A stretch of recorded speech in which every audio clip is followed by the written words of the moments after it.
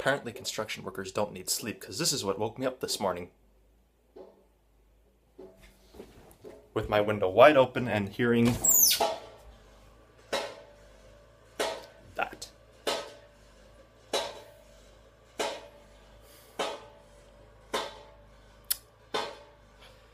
Good morning and happy Friday.